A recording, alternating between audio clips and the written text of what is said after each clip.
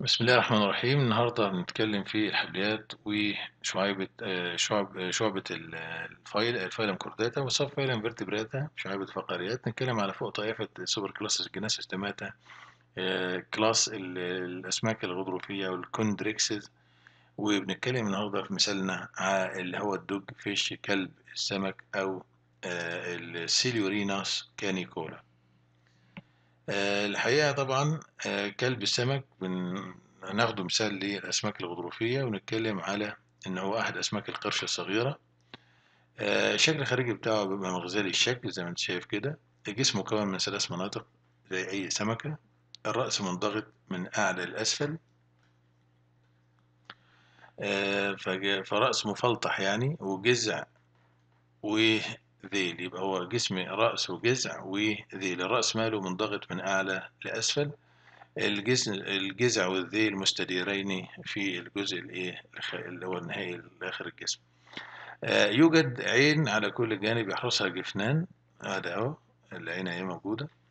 آه، ويوجد المتنفس أو السبايركل اللي هو الجزء اللي هو خلف العين كده اسمه المتنفس أو الجزء ده.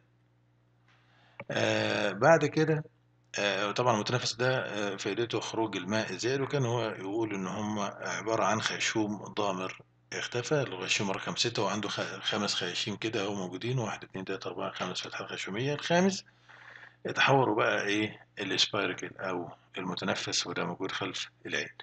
توجد خمس فتحات خيشومية five gill slits اللي هم موجودين. آه،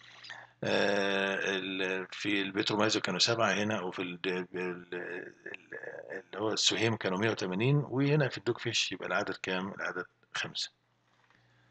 آه، ده الشكل الخارجي للدوج فيش هيبقى عبارة عن جسم رأس وجذع والذيل طبعا الذيل بيفتح بعد فتحة الكلواكة أو المزرق آه، نشوف الزعانف هنا هتلاقي فيه زعانف مزدوجة الزعانف الأولانية الصدرية اتنين والزعنفة الحوضية اتنين برضو بنفس الشكل ده يعني زوج.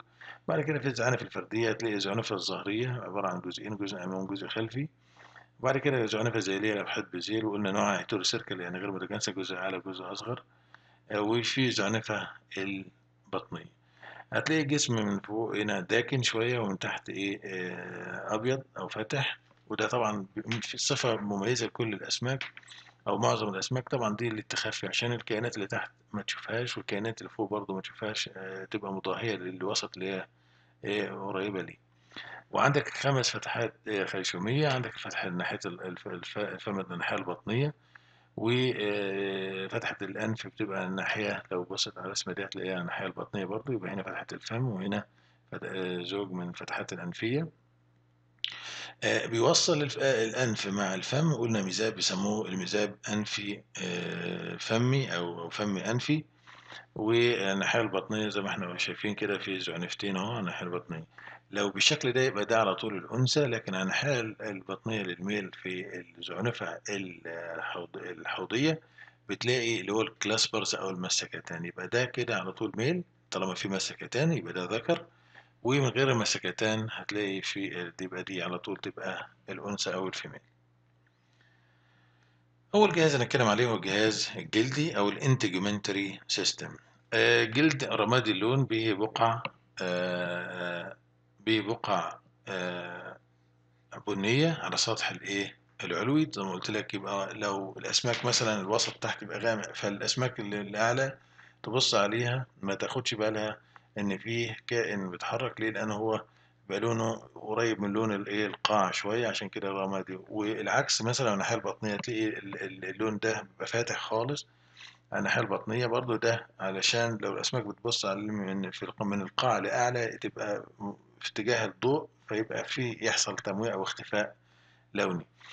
آه، فعندك هنا الجسم مغطى بالقشور الدرعية زي ما قلت دي حاجة بتميز الأسماك الغضروفية. ال placoid scales ويوجد خط جانبي lateral line أول مرة نشوف الخط الجانبي كان في ال- الأسماك اللي هي الغضروفية في ال dogfish. عنده خط واحد. بنتكلم على كده الأسماك الع- العظمية في سمكة البولتين لأن هم عبارة عن خطين. آه، برضو هذا الخط يحتوي على أعضاء حسية لتحديد التغيرات في الضغط والحركة. يبقى هو ليه آه، وظيفة حسية الخط الجانبي. اللي يتكون الجلد من طبقتين زي ما قلنا البشرة والأدمة قبل كده. لكن البشرة اللي هنا بتبقى طلائية حرشوفية مصففة. طلائية حرشوفية مصففة يعني stratified squamous stratified squamous epithelium ينتشر بها خلايا مخاطية. آه زي ال Petromyzon برضو. لكن طبعا جسم ال Petromyzon كان لين طري مفيهوش حراشيف لكن هنا عندنا حراشيف ونوعها إيه؟ حراشيف آه درعية ال- الأدمة عبارة عن نسيج ضام يحتوي على أوعية دموية وخلايا صبغية وما إلى ذلك من أي آه، من مكونات تميز النسيج الضام الموجود. القشور زي ما قلنا أو الحراشيف بتبقى قشور قشور إيه؟ placoid scale. ال placoid scale حراشيف درعية تتجه للخلف تبقى عاملة كده اتجاه للخلف كده بالشكل ده كده وهكذا. تتكون من صحيفة قاعدية جزء صغير كده بيسموه الصحيفة القاعدية عامل كده واللي تحت ده كده. برضه هنا نفس الكلام بتاع الرجات كده الجزء ده كده أهو. فده الإيه؟ ده ال pulp ال cavity الموجود الجزء الموجود هنا ده كده ال pulp cavity ودي الصفيحة القاعدية ال basal plate مغمورة فين؟ موجودة في الأدمة. وشوكة تتجه للخلف خالص كده اهو بالشكل ده كده خالص موجودة آه، في ال- الخ... أو شوكة حادة تخترق البشرة لل- للخلف الاتجاه الخلفي خلف الجسم تتكون القشرة منين؟ من طبقتين تشبه الايه؟ الأسنان وبالتالي القشور دي لما جت على الفم اتحولت وبقت أسنان هي العاج د- الطبقة الداخلية اللي هي العاج اللي هي الدنتين والطبقة الخارجية اللي هي المينا أو الإنامل يبقى هي زي الأسنان فعلا بتتكون من إيه؟ من ال- العاج والمينا عاج للداخل والمينا للخارج. القشرة فراغ يسمى بتجويف اللب اللي هو الداخل ده. آه وهو نسيج إيه برضه ضام ده نسيج ضام يحتوي على أوعية دموية ومن طبقة الإيه؟ من طبقة الأدمة. ده بالشكل اللي وضح لك تركيب ال ال ال placoid scales. وتشوف كده من الجلد تلاقي دايما إيه؟ بيتجه للخلف اللي هي الايه الأشواك بتاعت القشور؟ الدرعية ده المنطقة الأمامية ودي المنطقة الخلفية. طيب تيجي تبص كده على البشرة. تلاقي البشرة عبارة عن إيه؟ طبقة إيه؟ طبقة طلائية حرشفيه مصففة. طيب ده طبقة طبقة واحدة ولا عدة طبقات؟ عدة طبقات. طيب بعد كده فيه الإيه؟ الأدمة. يبقى عندي ال epidermis وعندي ال dermis. آه، ال derm ال epidermis ده في خلايا بتفرز المخاط؟ آه في خلايا بتفرز المخاط تحت ال epidermis هتلاقي على طول برضو الخلايا الصبغية ال melanophores اللي بتدي اللون الرمادي للإيه؟ الجلد. آه، في قلب طبقة ال- ال- الأدمة هتلاقي فيه الطبقة اللي هي ال- الصفيحة القاعدية اللي بيتكون منها الإيه؟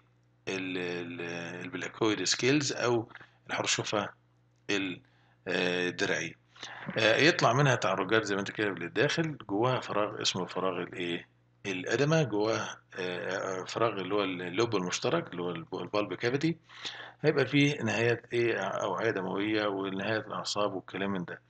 بقى تلاقي في الآ- في الآخر خالص تلاقي ال- ال- ال- ال- ال placoid scales اللي هي ال- الحرشفة الدرعية عبارة عن إيه؟ عبارة عن طبقتين ال dentine للداخل وال enamel للخارج.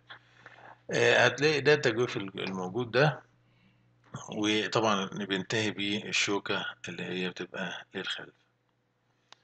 ده منظر برضو للحرشيفة الدرعية الموجودة تحت الميكروسكوب هنا بتوضح هاي برضو. آه، موجود آه، جزء يطلع منها في البشرة والجزء اللي هو الأسفل ده اللي هو موجود في ال- ال dermis وده هنا ال melanophores اللي هي نفسها اللي هي ال pigment cells أو الخلايا الصبغية. ده ال dentine للداخل أهو وده ال enamel للخارج هما دول اللي بيكونوا ال placoid scales تكون من طبقتين.